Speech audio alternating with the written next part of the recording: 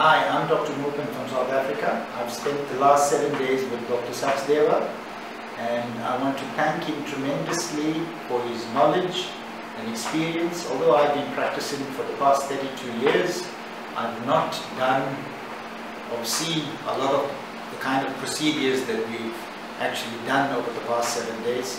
And this is of tremendous help, It's going to be of tremendous help to me and my patients. I thank him for his clinical expertise. Thank him for taking me through these various procedures. And I'd like to wish him and